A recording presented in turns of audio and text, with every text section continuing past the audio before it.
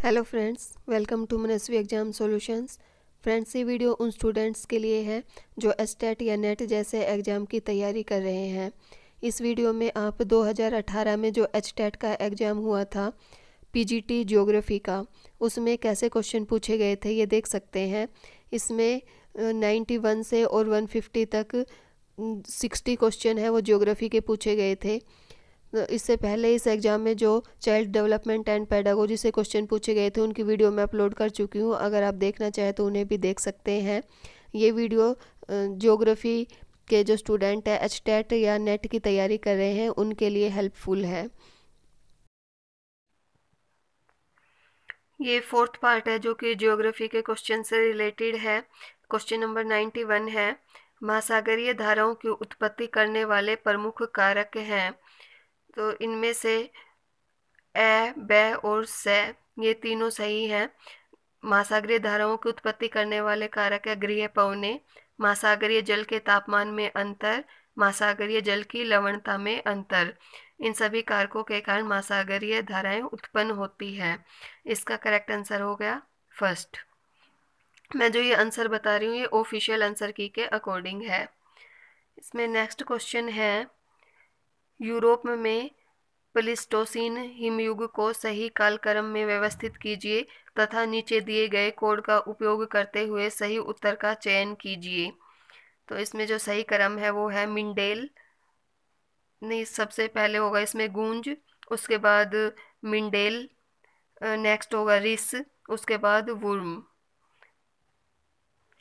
ये question net के exam में भी पूछा जा चुका है। इनमें से मोस्टली क्वेश्चन ऐसे हैं जो कि नेट के एग्ज़ाम में भी पूछे जाते हैं, इसलिए ये वीडियो नेट के एग्ज़ाम की तैयारी कर रहे स्टूडेंट्स के लिए भी हेल्पफुल है। नेक्स्ट है, निम्नलिखित में से कौन सुमेलित नहीं है? एक तरफ़ भू आकृति दी हुई है और दूसरी तरफ़ उनको बनाने वाले कारक दिए हुए हैं। तो अंधी घाटी, ये काष्ट शिला करती है जो कि भूमिगत जल से बनती है, ये सही है। पेडिमेंट, ये जलीय रेगिस्तानी स्थला करती है। अंडों की टोकरी, ये जो स्थला करती है, ये ग्लेशियर या हिमनद से बनती है। तो ये तीनों सही है। जो ये चौथा है राशमूटों ये वायुड से बनती है ये गलत दिया हुआ है। तो इसका जो आंसर है वो क्या हो गया? फोर्थ, क्योंकि इसमें कौन सा सुमेलित नहीं है, ये पूछा हुआ था। नेक्स्ट क्वेश्चन है, निम्नलिखित कथनों का परीक्षण कीजिए। तो इनमें से कौन से सही है, ये बताना है। तो इसमें से ए, ब और स, ये तीनों ही सही दिए हुए हैं। मुख्य, मध्य, कटान, महान हिमालय को लघु हिमालय से अलग करती है। मुख्य, सीमांत भ्रंश लघु हिमालय को शिवालिक से अलग करती है। और महान, सीमांत भ्रंश अरावली को विंध्यसन से, सिस्टम से अलग करता है। नेक्स्ट क्वेश्चन है, एक पुनर्युवित स्थलाकृति के लक्षण हैं। तो उसके जो लक्षण होते हैं वो होते हैं निक पॉइंट अधकर्तित विसर्प और घाटी में घाटी बनती है। तो ए ब और स ये इसका आ, सही आंसर है। तो इसका करेक्ट आंसर ए ब से किसमें? थर्ड में। ये इसका सही आंसर हो जाएगा। नेक्स्ट है भारतीय मौसम मानचित्र पर निम्नलिखित में से कौन सी मौसमी दशाएँ नहीं दर्शाई जाती है? तो उसमें समताप रेखाएँ नहीं दर्शाई जाती है। बाकी समताप रेखाएँ आकाश की दशा और पवन की दिशा, ये सभी दर्शाए जाते हैं। नेक्स्ट क्वेश्चन है, निम्नलिखित कथनों का परीक्षण कीजिए तथा नीचे दिए गए कोड का उपयोग करते हुए सही उत्तर का चयन कीजिए। इसमें है गैस गैसीय परिकल्पना गुरुत्वाकर्षण के नियम पर आधारित है। ये सही है। इसके बाद प्रारंभिक आद्य पदार्थ शब्द कांट द्वारा दिया गया था, ये भी सही है। इसमें जो स है, ये गलत दिया हुआ है, बाकी जो द है, ये भी सही है। कांट का कहना था, मुझे पदार्थ दो, मैं दिखाऊँगा कि उससे विश्व कैसे बनता है। तो इसमें ए ब और द सही है तो इसका जो आंसर होगा, वो हो गया थर्ड। नेक्स्ट क्वेश्चन है, इसमें एक तरफ़ सेक्टर दिए हुए हैं और आर्थिक क्रियाकलाप दिए हुए हैं, कौन से सेक्टर में कौन से आर्थिक क्रियाकलाप आते हैं? तो जो प्राथमिक सेक्टर है प्राइमरी सेक्टर उसमें आते हैं कृषि और खनन। जो सेकेंडरी या द्वितीयक सेक्टर है, उसमें आता है विनिर्माण और इंजीनियरिंग और जो तृतीयक सेक्टर है, उसमें आते हैं सेवा उद्योग सर्विस इंडस्ट्री और इसमें जो फोर्थ है, ये गलत दिया हुआ है। तो कौन सा सुमेलित नहीं है? फोर्थ सुमेलित नहीं है। नेक्स्ट क्वेश्चन है ई जी रेवेंस तीन द्वारा समर्थित परवर्जन प्रवास के निम्नलिखित नियमों का परीक्षण करें। तो प्रवास के जो नियम दिए गए हैं, उनमें से, इसमें से एस है और द है, ये सही है। अधिकतर प्रवासी होते हैं वह छोटी दूरी तक संचरण करते हैं। प्रवर्जन की प्रत्येक धारा अधिक ताकतवर प्रतिधारा उत्पन्न करती है और ग्रामीण लोगों की तुलना में नगरीय लोगों में प्रवास की भावना कम होती है। तो इसका जो करेक्ट आंसर हो गया, वो हो गया फ़र्स्ट नेक्स्ट क्वेश्चन है, भारतीय मिट्टियों के बारे में निम्नलिखित कथनों का परीक्षण कीजिए कि इनमें से कौन से कथन है, वो सही है। जिसमें रेगड़ मिट्टी, दक्कन लावा से निर्मित है, ये सही है। बांगर मिट्टियों की तुलना में खादर मिट्टियाँ अधिक मर्तिका युक्त है, ये भी सही है। और लेटेराइट मिट्टियाँ लोह एवं एल्यूमिनियम समृद्ध है, ये भी सही है। इसमें ए ब और से सही है। नेक्स्ट क्वेश्चन है, जनगणना 2011 के अनुसार राज्यों या केंद्र शासित प्रदेशों का कौन सा युगम जनजातीय जनसंख्या, कुल जनसंख्या का सर्वाधिक प्रतिशत रखता है? तो वो है लक्षद्वीप तथा मिजोरम। सेकंड इसका सही आंसर है। नेक्स्ट क्वेश्चन है, क्रिस्टालर का केंद्रीय सथल सिद्धांत निम्नलिखित में से कौन से दो नियमों पर आधारित है? तो वो दो नियम हैं, वस्तुओं का परिसर और वस्तुओं की देहरी range of goods and threshold इसका जो करेक्ट आंसर है वो हो गया फ़र्स्ट नेक्स्ट क्वेश्चन है, निम्नलिखित में से कौन सा सेट भारत में एल्यूमिनियम उद्योग का सही प्रतिनिधित्व करता है? इसका करेक्ट आंसर है फ़र्स्ट हीराकुंड, रेणुकूट, मैटूर और कोरापुट. नेक्स्ट है, भारत में रेलवे का प्रति एक हज़ार वर्ग किलोमीटर क्षेत्र में घनत्व सर्वाधिक है. ये है पंजाब एवं पश्चिम बंगाल में. नेक्स्ट है ओसाका जापान का मानचेस्टर कहलाता है। यह जापान के कौन से औद्योगिक प्रदेश में अवस्थित है? तो ये किनकी में स्थित है? नेक्स्ट है, निम्नलिखित में से भारत भारत की कौन सी सतलाकृति एक एस्कारपमेंट का उदाहरण है? तो यह है पश्चिमी घाट। नेक्स्ट क्वेश्चन है, तापीय विलोमता होती है जब शांत एवं लंबी शीतकालीन रात हो, हिमाच्छादित धरातल हो, तथा आकाश स्वच्छ हो एवं प्रति चक्रवातीय दशाएँ हो। एबस है। इसका सही आंसर है। नेक्स्ट है। वायुदाब पेटियों का विषुवत रेखा से ध्रुवों की ओर सही क्रम चुने। तो इसमें है। जो करेक्ट होगा वो होगा विषुवतीय निम्न वायुदाब पेटी, उसके बाद होती है उपोष्ण उच्च वायुदाब पेटी उप ध्रुवीय निम्न वायुदाब पेटी और ध्रुवीय उच्च वायुदाब पेटी। ये क्वेश्चन भी नेट के एग्ज़ाम में पूछा जा चुका है। नेक्स्ट क्वेश्चन है, निम्नलिखित को लवणता के बढ़ते क्रम में व्यवस्थित करें। तो इसमें से जो सबसे कम लवणता है, जिसमें वो है काला सागर और काला सागर से ज़्यादा लवणता है ग्रेट साल्ट लेक में और इससे ज़्यादा है मृत सागर में। और इनमें से सबसे ज़्यादा लवणता है वो है वान झील में। तो इसका करेक्ट आंसर हो जाएगा द, ब एस है थर्ड इसका करेक्ट आंसर है। नेक्स्ट है, एक कथनात्मक मापनी दो सेंटीमीटर इक्वल है वन किलोमीटर के। तो निरूपक भिन्न या प्रदर्शक भिन्न आर एफ़ क्या होगा? तो ये होगा one ratio fifty thousand next निम्नलिखित में से कौन सा सुमेलित नहीं है? तो इसमें से जो फोर्थ है, ये सुमेलित नहीं है। बाकी उष्ण आद्र सदाबहार वन, ये मिलते हैं पश्चिमी घाट में। उष्ण शुष्क सदाबहार वन, ये मिलते हैं तटीय तमिलनाडु में। समशीतोष्ण आद्र वनस्पति, ये मिलती है नीलगिरी व अनामलाई की पहाड़ियों पर। नेक्स्ट क्वेश्चन है, वितरण मानचित्रों के संबंध में निम्नलिखित में से कौन सा कथन असत्य है? तो इसमें जो फोर्थ है, ये असत्य है फ़र्स्ट सेकंड और थर्ड ये सत्य है। कोरोशीमेटिक विधि को प्रतीक विधि भी कहा जाता है। कोरोक्रोमैटिक मानचित्रों को रंगारेख मानचित्र भी कहा जाता है और जनसंख्या घनत्व वर्ण प्रतीक की विधि द्वारा दर्शाया जा सकता है। नेक्स्ट है, भूमध्य सागरीय कृषि की निम्नलिखित विशेषताओं का परीक्षण करें। तो इसमें से ए बैस और द, ये चारों ही भूमध्य सागरीय कृषि की विशेषताएँ होती है। यह उच्च विशेषीकृत वाणिज्यिक कृषि का प्रतिनिधित्व करती है। अन्न तथा सब्ज़ी उपजाई जाती है इसमें और सीमित पशुपालन होता है और विटिकल्चर। ये सभी इसकी विशेषताएँ हैं। नेक्स्ट है, कौन सी समवर्षा रेखा भारत को चावल एवं गेहूँ के प्रमुख उत्पादक क्षेत्रों को बांटती है? तो वो है 100 सेंटीमीटर की वर्षा रेखा।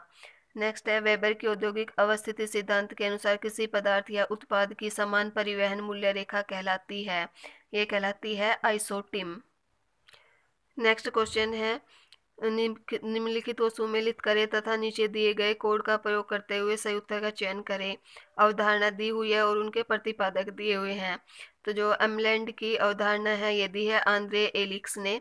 नगरीय उपांत की टी एल स्मिथ ने दी है सन नगर की पैट्रिक गिडीज ने दी है और मेगापोल, मेगालोपोलिस की जीन गोटमैन ने दी है। नेक्स्ट है थॉम्सन और नोटेस्टीन के जिनांकीय संक्रमण सिद्धांत के अनुसार निम्नलिखित में से कौन सी अवस्था सुमेलित नहीं है? तो इसमें से जो थर्ड अवस्था है वो सुमेलित नहीं है। बाकी जो फ़र्स्ट अवस्था है उसमें उच्च जन्म दर और उच्च मृत्यु दर सेकेंड अवस्था में उच्च जन्म दर मृत्यु दर उच्च परंतु घटती हुई और फोर्थ अवस्था में जन्म दर कम, मृत्यु दर कम। ये सभी सही दिए हुए हैं, जो थर्ड अवस्था है, वो सही नहीं दी हुई है। नेक्स्ट क्वेश्चन है, विश्व का सबसे लंबा तथा सबसे बड़ा सड़क नेटवर्क किस देश में है? तो यह है संयुक्त राज्य अमेरिका में। नेक्स्ट है वानथ्यूनिन के कृषि भूमि उपयोग सिद्धांत के अनुसार किसान त्रिस्तरीय खेत प्रणाली पालन करते थे। ये कहते थे मेखला फाइव में या जोन फाइव में। नेक्स्ट है, भूस्थैतिक उपग्रहों के बारे में निम्नलिखित कथनों का परीक्षण कीजिए। जियो स्टेशनरी सैटेलाइट के बारे में तो इसमें है, इन्हें लगभग छत्तीस हज़ार किलोमीटर की तुंगता या ऊंचाई पर स्थापित किया जाता है। ये सही है, पृथ्वी की घूर्णन दिशा के समान दिशा में परिक्रमण करते हैं।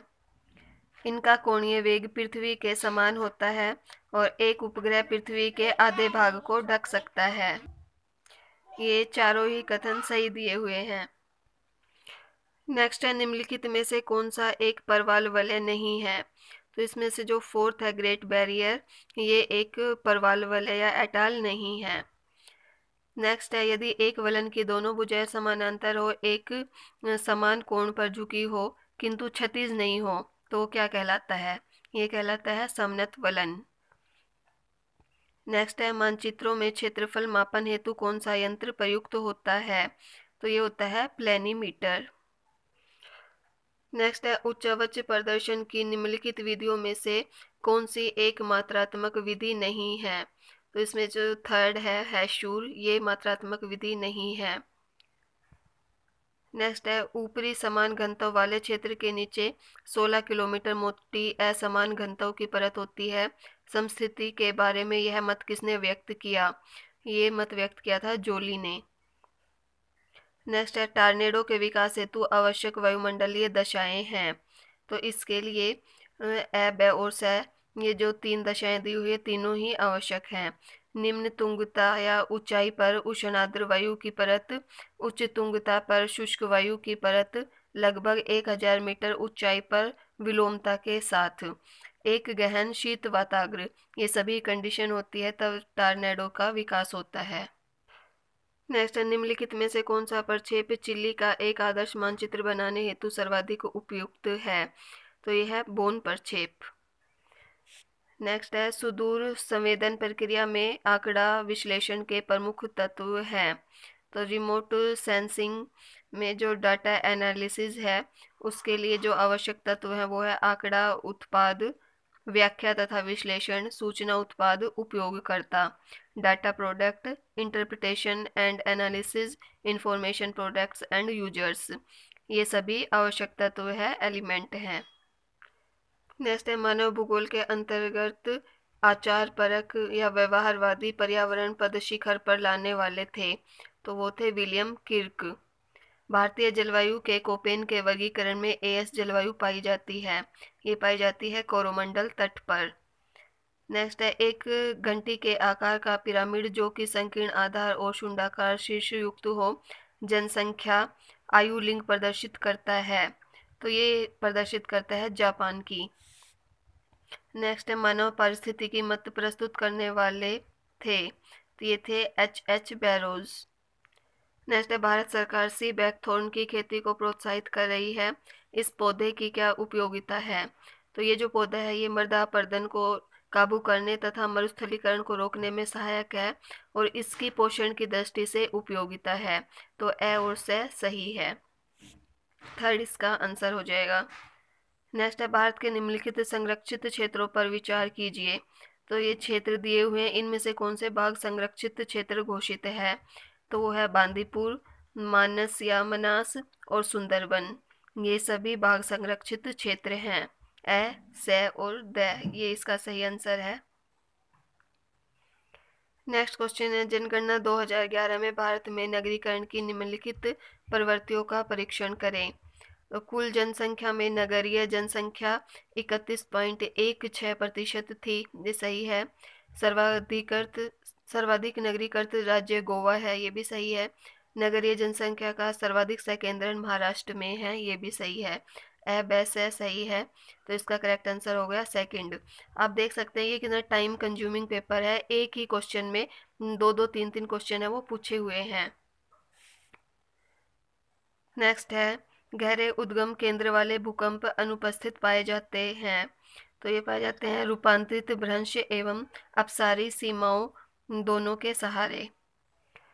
नेक्स्ट क्वेश्चन है, नुई आर्द्रते एक लाक्षणिक विशेषता है। तो ये विशेषता है माउंट पीली ज्वालामुखी की। नेक्स्ट है, निम्नलिखित में से कौन सा एक ब्लैक पर्वत का उदाहरण नहीं है? तो जो काकेश है, ये ब्लैक पर्वत का उदाहरण नहीं है।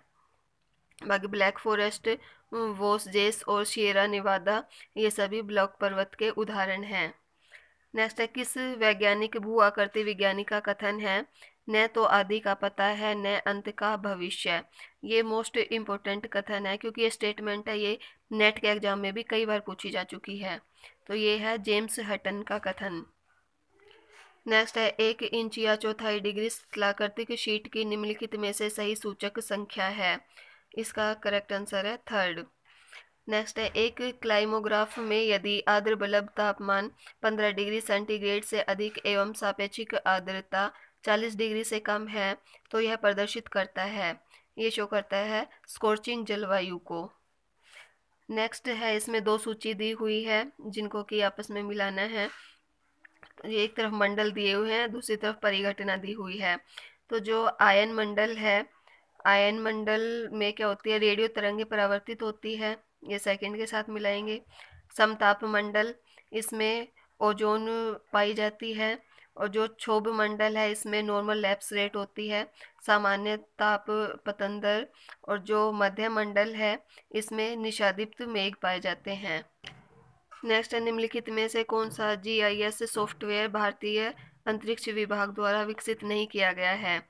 तो इसमें से जो इलविस है वो भारतीय अंतरिक्ष विभाग द्वारा विकसित नहीं किया गया है। जियो स्मार्ट और स्पेस, ये सभी विकसित किए हैं। नेक्स्ट है, भारत में निम्नलिखित उद्योगों में से कौन सा उद्योग पानी का सर्वाधिक उपभोक्ता है? तो ये है तापीय ऊर्जा, थर्मल पावर। नेक्स्ट है, समकाल रेखाएँ प्रदर्शित करती है। तो समकाल रेखाएँ किसी भौगोलिक क्षेत्र में दिए गए बिंदु से समान समय में पहुँचने वाले स्थानों को मिलाने वाली रेखाएँ होती है। थर्ड इसका करेक्ट आंसर है। नेक्स्ट है माराकीबो झील तथा ओरिनिको बेसिन महत्वपूर्ण क्रूड तेल या कच्चा तेल उत्पादक क्षेत्र है। ये है वेनेजुएला के। नेक्स्ट है, जनगणना 2001 की तुलना में जनगणना 2011 में ज़ीरो से छः आयु समूह में यौन उत्पाद में सर्वाधिक कमी हुई। ये हुई है जम्मू कश्मीर में। नेक्स्ट है, जब काहिरा तीस डिग्री पूर्वी देशांतर में समय दोपहर के बारह बजे हैं तो लंदन में समय होगा। उस टाइम लंदन में सुबह के दस बजे होंगे। इसका करेक्ट आंसर है सेकंड। नेक्स्ट है, मानव विकास सूचकांक रिपोर्ट 2018 में भारत का स्थान था। तो इसमें भारत का स्थान था एक सौ नेक्स्ट है, भारत में कृषि जलवायु प्रादेशिकरण प्रदेशों के प्राथमिक उद्देश्य हैं। इनके उद्देश्य हैं कृषिगत उत्पादों को सुधारना और अधिक ग्रामीण रोज़गार उत्पन्न करना, ए और से। तो इसका करेक्ट आंसर हो गया थर्ड आई होप ये वीडियो आपके लिए हेल्पफुल होगी। अगर आप H TET C TET NET या किसी कंपटीशन एग्ज़ाम की तैयारी कर रहे हैं या फिर बीएड या जेबीटी के स्टूडेंट हैं तो आप मेरे चैनल को सब्सक्राइब कर सकते हैं। अगर आपको ये वीडियो अच्छी लगी हो तो इसे लाइक कीजिए शेयर कीजिए। Thanks for watching my video